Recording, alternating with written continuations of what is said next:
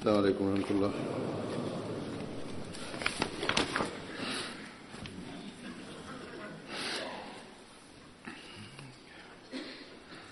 أشهد لا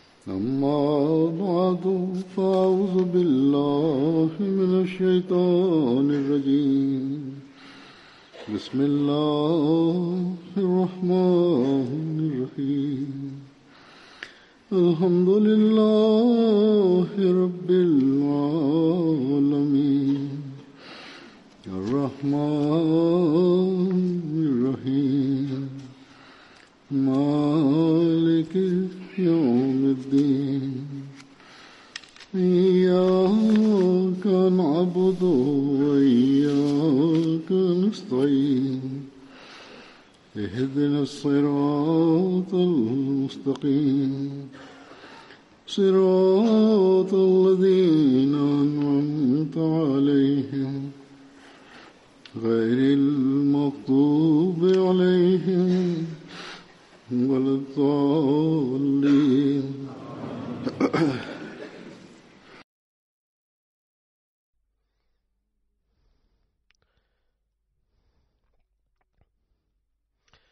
Ein Sahabi, ein Gefährter des heiligen Propheten Muhammad war auch Hadrat Jabir einer seiner Gefährten, und er war der Sohn von Hadrat Abdullah bin Umar bin Haram. Abdullah bin Umar bin Haram ist äh, jener Gefährte des heiligen Propheten Muhammad über den ich vor einigen Freitags, Freitagsansprachen erwähnt habe, dass der heilige Prophet Muhammad nach seinem Märtyrertod gesagt hat, dass Allah ihn danach gefragt hat, was ist dein Wunsch, den ich dir erfülle? Er sagte, O Allah, mein Wunsch ist, dass du mich wieder zum Leben erweckst und dass ich wieder in die Welt geschickt werde und dass ich wieder auf deinem Wege in deiner Sache den Märtyrertod erlange.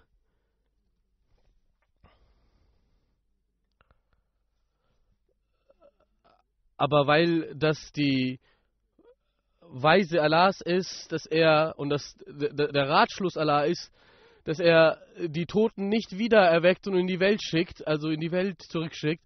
Deshalb hat Allah ihm gesagt, dass dieser Wunsch nicht möglich ist. Aber man merkt dennoch an dieser Stelle, mit welcher Liebe Allah ihn sein Opfer angenommen hat und wie hochgradig sein Opfer in der Sache Allahs gewesen ist. Also war er der Sohn von einem solchen Sahabi, also Abdullah bin Jabir.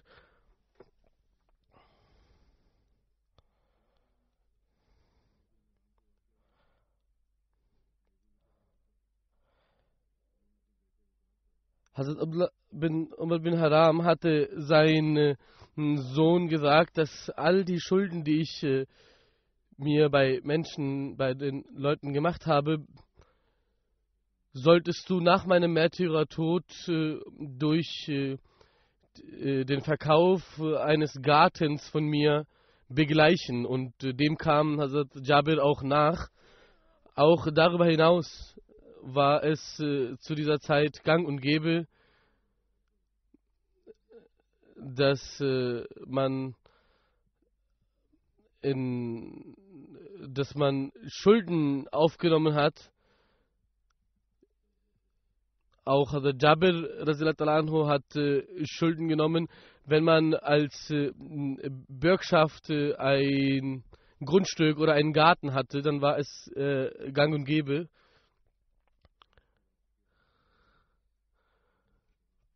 Hazrat Jabir sagte, als er die Schulden begleichte, beglich,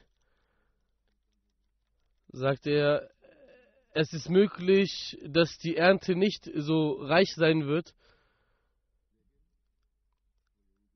Deshalb werde ich dir ein Stück äh, äh, von meinem Grundstück, von meinem Garten abgeben, aber äh, der ähm, jüdische, die jüdische Person nahm das nicht an. Hadr Jabir ging zu dem, äh, der äh, heilige Prophet Musallam erfuhr davon, dass der Jude das nicht akzeptiert hat, dann hat der heilige Prophet Musallam sogar den Juden darum gebeten, aber auch äh, die Bitte des Propheten Sallam nahm er nicht an.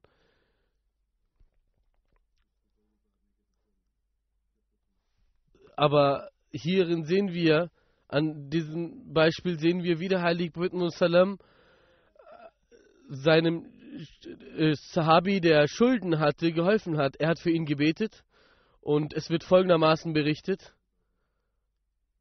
An dieser Stelle möchte ich auch anmerken, dass einige Menschen, dass es in einigen Überlieferungen heißt, dass äh, Abdullah bin Umar, also der Vater von Hazrat Jabir, dass es äh, im Zusammenhang mit seinen Schulden, die er seinem Sohn äh, beauftragte zu begleichen, dass es in diesem Zusammenhang steht.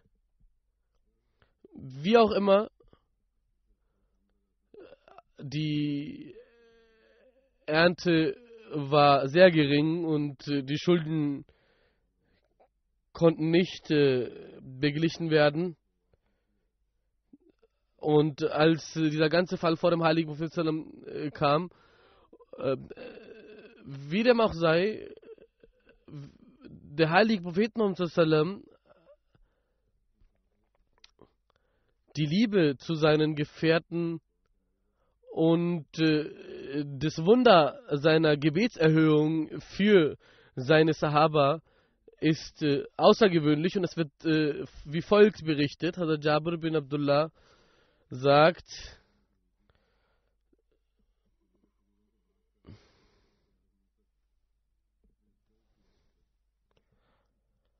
Hazrat Jabir bin Abdullah berichtet, dass es einen Juden gab in Medina, der ähm, äh, meinem Vater einen Darlehen gegeben hat oder Darlehen zu geben pflegte.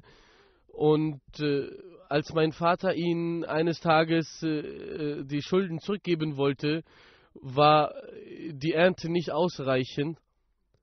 Und äh, entsprechend der Abmachung kam der Jude, um äh, seine Schulden zu holen. Und äh, ich habe ihn gebeten, noch äh, anders das zu begleichen oder ein Stück des Gartens zu nehmen, aber er äh, akzeptierte ähm, diesen Vorstoß nicht. Wahrscheinlich ging es ihm darum, dass er den ganzen Garten für sich beanspruchen kann. Als der heilige Prophet äh, davon erfuhr, dann ging er daraufhin äh, in den Garten von Hazrat Jabir, mit in Begleitung von einem Sahaba. Und der Jude sagte zum heiligen Propheten O Abul Qasim, so, so ähm, sprach er den heiligen Propheten an, als er, als der heilige Prophet Sallam äh, diese äh, Attitüde äh, des Juden wahrnahm, ging er äh, um den Garten umher und sprach wieder zu den Juden. Und währenddessen hat Hadar Jabir einige Datteln gepflückt und dem heiligen Propheten Musallam überreicht und der heilige Prophet Musallam gegessen hat. Der heilige Prophet Muhammad Sallam sagte, dieser, wo ist der Teich deines Gartens, O Jabir? Äh, ich, Hadar Jabir sagt, ich äh, wies ihn äh, dahin und der heilige Prophet Muhammad sagte, äh, rollt einen äh, äh, Teppich für mich aus, so dass ich mich hier ausruhen kann. Der heilige Sallam ruhte sich daraufhin etwas aus und als er wieder aufwachte, brachte ich ihm wieder einige Datteln. Er aß sie und stand wieder auf und sprach wieder mit dem Juden. Er ähm, ging wieder nicht darauf ein, der heilige Sallam ging wieder um äh, den Garten umher und äh, sagte dem, äh, als er mit der mit äh, dem Herumgehen zu, äh, seinen, seine Runde beendet hatte, sagte der Heilige Sallam Jabir, pflück die Ernte und äh, gib sie dem Juden zurück. Und äh, Hazrat Jabir sagte, als ich anfing, äh, die Datteln äh, zu pflücken und dem Juden zurückzugeben, war, war das so viel, dass mir sogar etwas übrig blieb. Und äh, Hazrat Jabir sagte, das war ein außer gewöhnliches Ereignis, ein Wunder. Und das ist deshalb passiert, weil Allah Ta'ala meine Gebete erhöht. Da, wo wir anhand dieser Überlieferung die Liebe des heiligen Propheten Muhammad und das Wunder, wodurch die, die Frucht sich so sehr mehrte, da sehen wir auch äh, gleichzeitig in dieser Überlieferung, wie sehr die Sahaba bemüht waren zu beten. Und das ist das, was einen wahren Gläubigen auszeichnen sollte. Manchmal sehen wir in dieser Gesellschaft, dass wir, obwohl wir Ahmadi heißen, dennoch uns nicht äh, darum kümmern. Wir sollten und äh, wir sollten uns in all unseren Angelegenheiten die folgenden Worte des verheißten Messias Islam vor den Augen halten und beherzigen, indem er sagt, nachdem ihr das Bett an meiner Hand äh, abgelegt habt, dann müsst ihr den Sahaba nachahmen, nur dann ist ein, äh, eine äh, wunderbare Gesellschaft äh, möglich, die nach der Erscheinung des Messias und Mahdis äh, sich bilden soll. Über das Begleichen von Schulden heißt es in einer weiteren Überlieferung von Hazrat Jabir anhu.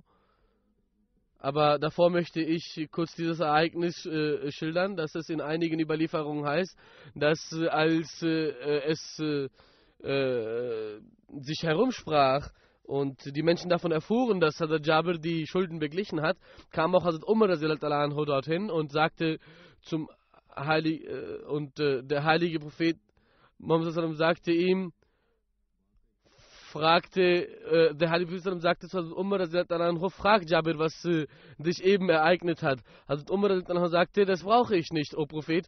Als ich erfuhr, dass sie äh, um den Garten herum gelaufen sind, umhergelaufen sind, wusste ich äh, sofort, dass äh, die Schulden äh, sich begleichen werden und Gott die Ernte sehr, sehr segnen wird. Wie ich kurz äh, begonnen hatte, heißt es in einer weiteren Überlieferung von Hazrat Jabir dass äh, ein Sahabi äh, verstarb, der ebenfalls Schulden hatte. Daraufhin hatte der heilige Prophet gesagt, dass er sein Janaza also sein Totengebet nicht sprechen wird, nicht beten wird. Daraufhin sagte ein Sahabi, äh, ich werde, äh, ich komme da für seine Schulden auf und werde sie begleichen. Und äh, der Heilige Prophet erklärte sich bereit, die Janaza äh, dann zu verrichten für ihn, aber fragte äh, im Nachhinein immer wieder, ob er die Schulden die er für seinen toten äh, Bruder zu begleichen versprach, schon entrichtet hat oder nicht.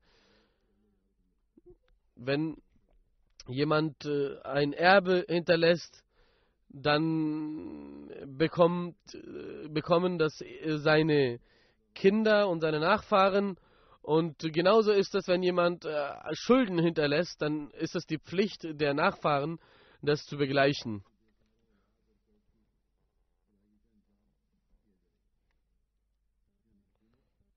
Wenn dies aber nicht möglich ist, dann wird, äh, hat der Staat dies zu begleichen.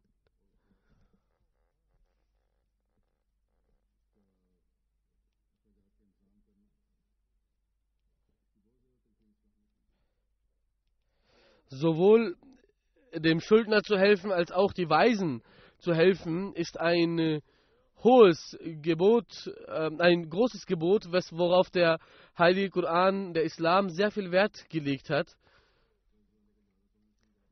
Als es heißt, auf der einen Seite hat der Heilige Prophet sich geweigert, die Janaza des äh, Sahabi, der zwei Dinar jemanden geschuldet hat, zu verrichten. Auf der anderen Seite hat er es äh, äh, den Gläubigen nahegelegt, dass äh, der Staat die Verpflichtung hat, die Regierung die Verpflichtung hat, äh, seine Schulden zu begleichen. Es scheint so, als wären das zwei verschiedene Ereignisse gewesen, zu denen das gesprochen würde. Aber was wir daraus lernen ist, dass die es dass wenn die Kinder oder wenn äh, der Verstorbene äh, nicht dafür gesorgt hat, dass seine Schulden beglichen werden und ähm, die Waisenfürsorge, das alles obliegt dem Staat, dem nachzukommen. Da sehen wir, wie der heilige Prophet Muhammad islamische Regierungen verpflichtet hat, äh, seine Bürger und ihre Rechte, äh, die Rechte ihrer Bürger zu erfüllen und ihre Bedürfnisse äh, zu beachten. Aber was sehen wir, dass äh, am meisten die Menschen in muslimischen, äh, sogenannten muslimischen Ländern oder unter muslimischen Re Regierungen äh, leiden. Ein weiteres Ereignis wird wie folgt berichtet, dass äh, Hazrat, äh, ein Sahabi zu Hazrat Jabir bin Abdullah gekommen ist und äh, zu ihm sagte, äh, O Jabir, berichte etwas, was du vom heiligen Propheten Muhammad erfahren oder gehört hast. Hazrat Jabir sagt, eines Tages war ich mit dem heiligen Propheten Muhammad auf einer Reise und ich weiß nicht, ob das eine Reise war, die für eine Schlacht unternommen wurde oder eine andere Reise. Ah, der heilige Prophet, als wir zurückkehrten, sagte, dass wir uns äh, auf das Geheiß des heiligen Propheten hin beeilten, nach Medina zurückzukehren. Und ich ritt ein Kamel, welches äh, sich weigerte, äh, weiterzulaufen. Und als ich alles versuchte, dennoch weigerte sich dieses Kamel weiterzulaufen als der heilige Prophet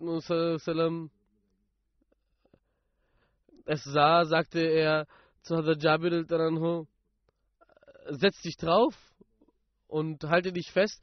Und als der heilige Prophet äh, die Zügel äh, des äh, Kamels äh, etwas äh, zog, ritt dieser Kamel auf, auf einmal sehr schnell und fing an zu rennen. Und äh, als, äh, also Jabir sagt, als wir in Medina ankamen, hat der, ha, tritt der heilige Prophet mit einigen seiner Gefährten in die Moschee und ich war auch unter ihnen. Ich äh,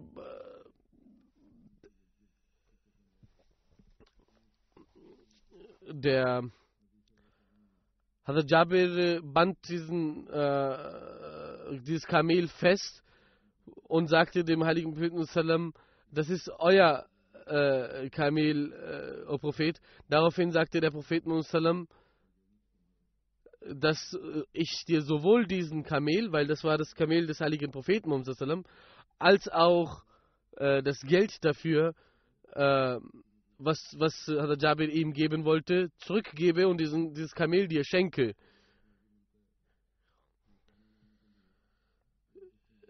In einer Überlieferung heißt es, dass äh, dieses Kamel, des Heilig, äh, dass dieses Kamel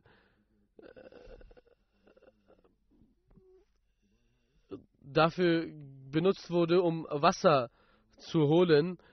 Und äh, das war die Liebe des heiligen Propheten, der äh, Hazrat Jabir sowohl die, das Kamel überreichte als auch das Geld dafür und daran sieht man, wie sehr er seine Gefährten liebte. Möge Allah die Ränge dieser Sahaba stets erhöhen. Ich pflege äh, ihre äh, Lebensweisen und ihre Charakterzüge und äh, äh, Geschehnisse zu schildern. Möge Allah uns befähigen, dass wir äh, sie zu unseren Vorbildern machen und ihnen nachahmen. Ich werde heute zwei treue Diener des Glaubens über die sprechen. Bilal Adlawi Sahib ist der erste aus Syrien, der vor einigen Tagen in einem Autounfall verstorben ist, am 17. März 2018 in der Nacht äh, 1.30 Uhr äh, den äh, Unfall. Äh, äh, er ist verstorben in dem Unfall. Bilal Sahib äh, war 17 Jahre alt. Ein Ahmadi-Bruder hat ihn, als er noch nicht Ahmadi war, äh, ein, äh, eine Arbeit äh, verschaffen bei einem Ahmadi-Unternehmer und er hat da den Kontakt zu den Ahmadi äh, zu den Ahmadis bekommen und daraufhin die Jamaat angenommen.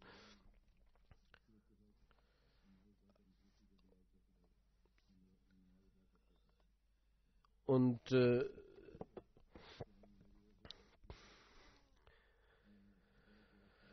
Hazrat, äh, äh, der Bilal Sahib aus Syrien äh, pflegte des Öfteren zu erwähnen, dass er wegen mir, also das sagt derjenige, der ihn äh, zu, zu, zu dem Bad begleitet hat, dass er wegen mir das Bad abgelegt hat und stets äh, äh, das erwähnt hat und gebetet hat. Er war sehr, sehr gastfreundlich. Deshalb Jamaat schreibt über ihn, dass Bilal Sahib Sportbekleidung verkaufte und ein Geschäft hatte und er pflegte ähm, äh, allen sehr äh, zu helfen, allen Ahmadi-Brüdern. Wenn er auch die Produkte selber nicht hatte, dann versuchte er sie zu beschaffen für die Ahmadi-Brüder.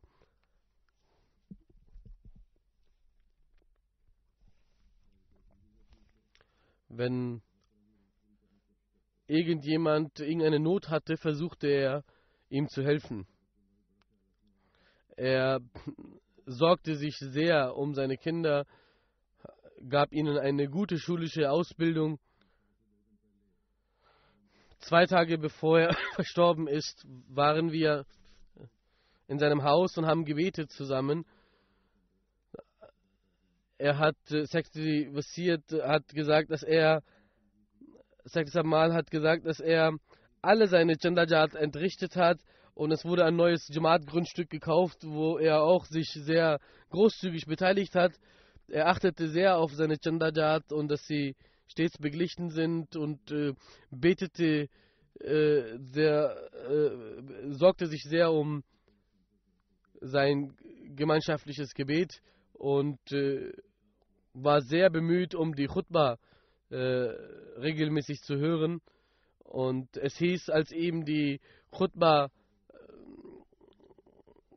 vorgetragen wurde und die Zusammenfassung nochmal Revue passiert wurde, sagte er immer, weinte er und sagte, ich habe das Gefühl, dass äh, der Kalif mich anspricht dabei, dass ich mich bessern soll. Äh, unter den Verbliebenen ist ein Sohn, der zwölf Jahre alt, sein älterer Bruder ist in Deutschland, aber zwei Brüder und ein, eine Schwester sind nicht Ahmadi und äh, sind auch äh, äh bekämpfen ihn auch sehr als äh, aber als er äh, verstorben ist, hat sein äh, Bruder gesagt, dass die Ahmadis gern willkommen sind, in der Moschee zu kommen und für den toten, seinen toten Bruder zu beten. Und äh, des Weiteren, als zweites möchte ich Slima Misaiba, die äh, ehemalige Sadr Sahiba äh, von Karachi, Abdul Dar Sahibs Tochter, 17. März ebenfalls ist auch ihr Todestag gewesen. Im Alter von 90 Jahren. 1904. Ihr Vater war Sahabi, Mir Elahi Bakhsh Sahib, Sheikhpura und Gujarat. Er hat 100, äh, 1904 äh, das äh, Beit abgelegt. Ihre Mutter war, äh, war äh, hatte ihren Abschluss in Madras, Madrasa Qadian gemacht und äh, war hatte ein großes äh, eine große Leidenschaft für den heiligen Koran und seine Lehren. Die zogen in den 60er Jahren nach Qadian und äh, Ende der 60er Jahren sind sie nach Iran gezogen. Dort gab es einige Ahmadis, für deren gemeinschaftliche Gebete sie sich gekümmert haben und das organisiert haben. Sie zog acht Kinder auf und äh, war auch äh, stets, äh, sie lehrte acht Kinder und äh, bildete sich auch fort und ähm, arbeitete, diente auch äh, in der Lajnai Maula in verschiedenen äh, Positionen.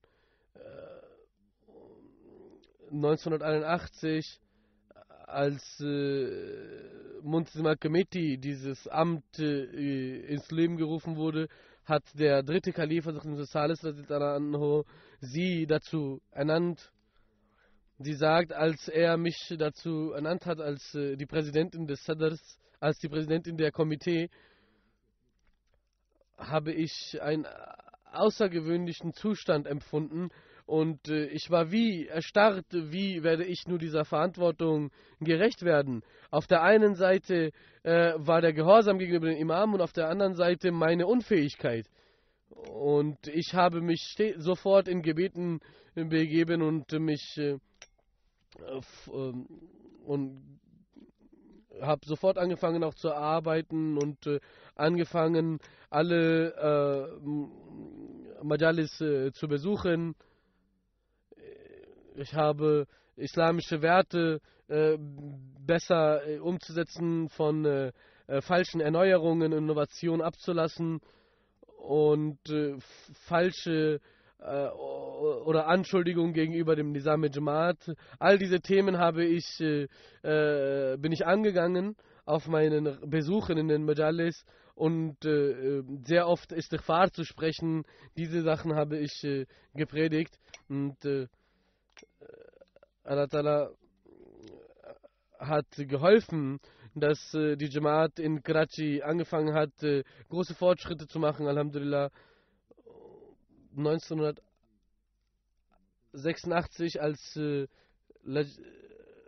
als Lajna Karachi wieder äh, verbunden wurde, gekoppelt wurde zu der Zentrale von Pakistan in der, äh, in der Organisationsstruktur, hat Hazrat Khalifat al-Masih Saleh sie zu äh, Sadr Lajna der Region Karachi äh, ernannt. Sie, es wurden sehr viele Publikationen herausgegeben in ihrer Amtszeit, 60 Publikationen, 60 Bücher.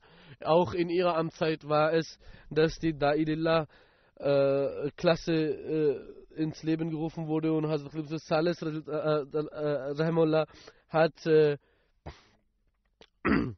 sie sehr gelobt und gesagt, dass sie sehr gut arbeite. Möge Allah sie weiterhin mehren und all ihre Gehilfen und Gefährtinnen möge Allah sie sowohl in diesem Leben als auch im nächsten Leben groß äh, dafür belohnen. Sie hat sehr viele Arbeiten geleistet, sehr viele Dienste erbracht, sowohl äh, der dritte Kalif als auch der vierte Kalif, Rahimullah, äh, alle haben äh, ihre Arbeiten sehr geschätzt. In einem Brief schrieb der vierte Kalif, Rahimullah, aus ihrem Bericht geht, gehen sehr viele äh, Emotionen und äh, Liebe hervor und ich erwidere diese Gefühle und bete, dass jeder Tag äh, äh, jeder Tag sie in, in, in ihrem Dienst mehren würde und der Tag schnell kommen würde, nachdem ich mich trachte.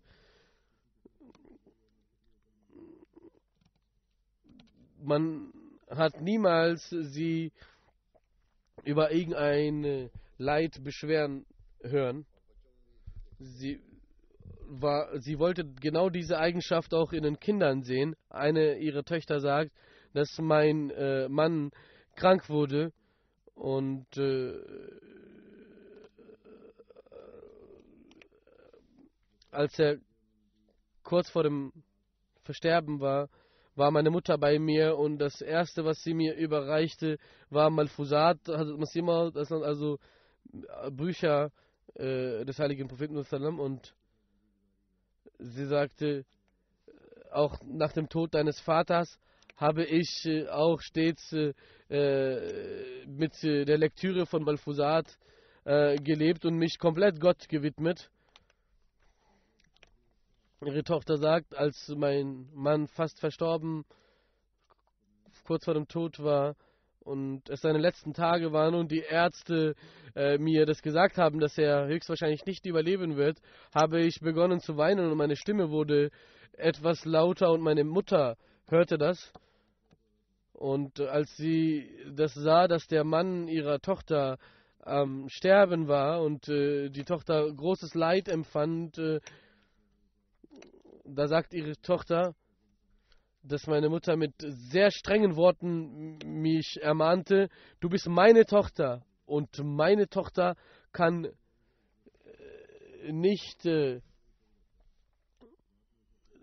äh, so viel so viel Beschwerde äußern. Meine Tochter muss Geduld aufweisen, denn Geduld ist nur dann wahre Geduld, wenn sie anfangen äh, eines äh, einer schlechten Nachricht oder einer einer schmerzhaften eines schmerzhaften Ereignis äh, äh dargelegt wird. Sie war äh, stets äh, bemüht, um Gebete zu sprechen und sie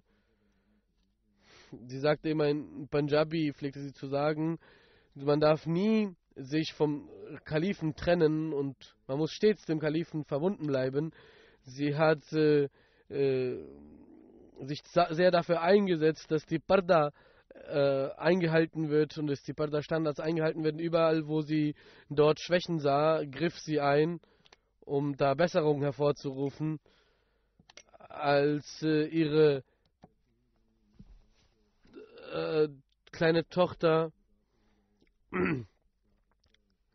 als ihre kleine Tochter äh, um ihre Hand angehalten wurde, ein Richter kam und dann wollte der Mann sie vor der Hochzeit sehen und wir haben wir haben, sagt ihre ältere Tochter sagt, äh, wir haben unserer Mutter gesagt, dass äh, anstatt das Niqab das äh, kleine äh, unsere kleine Schwester, um de, des, deren Richter gefragt wird, dass sie sich äh, zeigen kann ähm, äh, mit, mit einer leichteren Kopfbedeckung. Äh, sie sagte daraufhin, ob ein Richter zustande kommt oder nicht zustande kommt. Äh, sie wird nicht äh, ohne Nikab sich dem Mann gegenüber zeigen.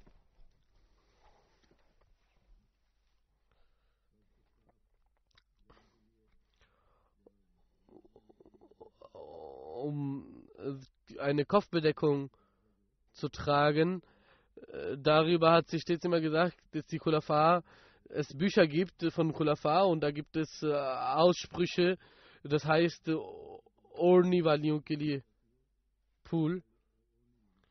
Dann äh, sie sagte, wenn jemand tatsächlich Blumen äh, erlangen möchte, dann muss er muss äh, äh, er sich auch an Parda, an die Kopfbedeckung halten.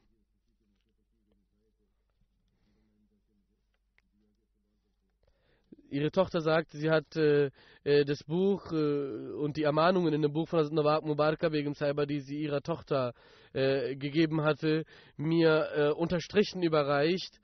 Sie hat die wichtigen Stellen äh, unterstrichen und mir gegeben und gesagt, du sollst es immer wieder lesen, immer wenn eine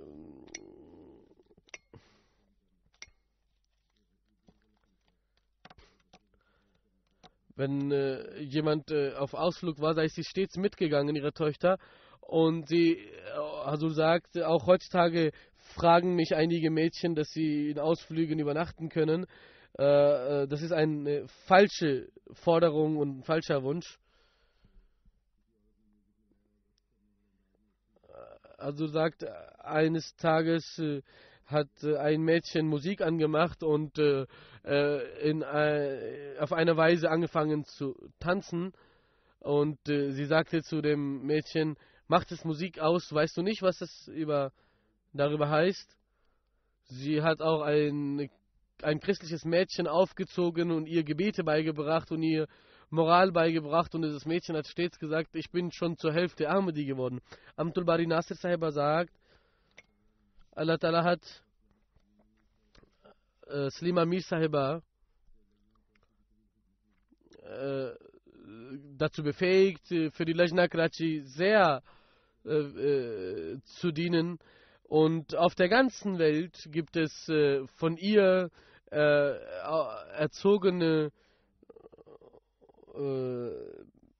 Lajnat und so wird ihr Name und ihre Dienste immer in guten Erinnerung bleiben. Sie hat auf so eine Weise gedient, dass es ihr nicht darum ging, dass ihr Name in den Vordergrund gerät, sondern immer darauf Wert gelegt, dass das, was äh, sie versucht zu leisten, dass das nützlich ist für die Jamaat. Die Bücher, die sie publizierte, beziehungsweise das sind darin äh, ist auch ihr Name zu lesen. Äh, sie musste des Öfteren auch äh, das Land verlassen und ausreisen, damit äh, die Arbeit der Jamaat und der Lajna nicht leidet, hat sie äh, mich darum gebeten, sagt Hasur, und äh, um eine äh, Vizepräsidentin. Und äh, eines Tages äh, hat sie die, als die neue Präsidentin ernannt wurde, letztendlich sie mit sehr viel äh, äh Liebe ähm, willkommen geheißen. Und äh, das ist eine, ein Vorbild, denn wenn man äh, die Befähigung bekommt, auf einem Amt zu dienen, dann ist das gut, aber äh, dann sollte man Gott dafür danken. Aber wenn es nicht der Fall ist, dann sollte man nach anderen Möglichkeiten trachten, ohne Amt der Jamaat zu dienen. Und das ist das beste Vorbild. Sie war jemand, der sehr gute ähm, Geheimnisse und, ähm, äh, und zu der man in Vertrauen äh, sprechen konnte. Und sie war nicht jemand, man wusste, äh, nachdem man sein Herz ihr ausgeschüttet hat, dass sie das nicht weitererzählen wird. Und das ist etwas, äh, diese Schwäche weisen auch viele Männer auf. Da ist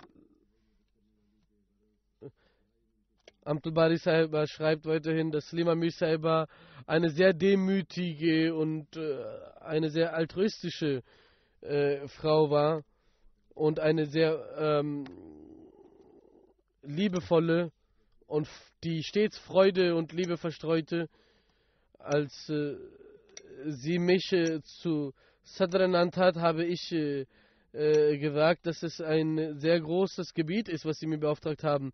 Sie sagte, sie sagte, du brauchst keine Sorgen machen, ich werde dir stets äh, helfen, wenn äh, du ein Auto brauchst, äh, ähm, um die Majalis zu besuchen, kannst du auch meiner eigenen Tochter sagen, sie wird dann kommen und dich abholen mit ihrem Auto.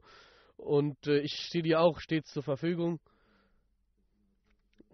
Sakri Ishad aus Karachi schreibt, Abbas Salima Mir Sahiba, äh, mit ihr durfte ich seit 1886 dienen und ich habe sie sehr demütig äh, als eine sehr demütige Person erlebt. Äh, eine, eine Lejna, die sich äh, von der Jamaat entfernt hatte und sehr krank geworden war, als sie sie davon erfuhr, ging sie zu ihr hin, baute wieder Kontakt auf und im Lichte der äh, Anweisungen des äh, vierten Kalifen äh,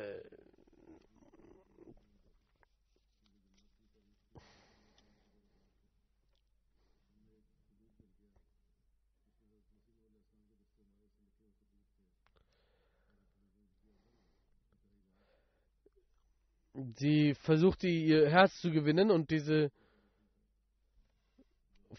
Frau besaß sehr viele Tabarukat. Sie bemühte sich auch äh, für ihre Behandlung. Und äh, diese kranke äh, Ahmadi-Frau besaß sehr viele Tabarukat des verheißenen Messias, Islam und Khulafa. All diese ähm, nahm sie ihr mit großer Raffinesse ab, um das in die Obhut der Jamaat zu bringen. Sie wies sehr viele gute Eigenschaften auf und ermahnte stets für das Gute und äh, ermahnte jeden für äh, die Sache Allahs. Es war nicht so, dass sie ihre eigenen Kinder nicht ermahnte, sondern sie legte sehr viel Wert darauf, dass ihre eigenen Kinder auch all ihrer äh, Ermahnungen erst äh, gerecht werden möge. Allah äh, ihren Rang erhöhen und auch äh, ihre Kinder dazu befähigen, ihre guten Eigenschaften in sich weiter äh, äh, zu beleben und lebendig zu halten. Ich werde nach der, nach der Jumma die zwei Namaz Janaza verrichten.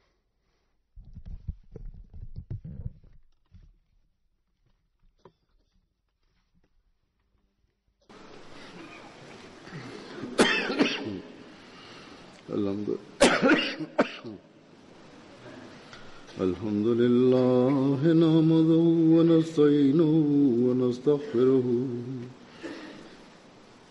ونؤمن به ونتوكل عليه ونعوذ بالله من شرور أنفسنا ومن سيئات أعمالنا.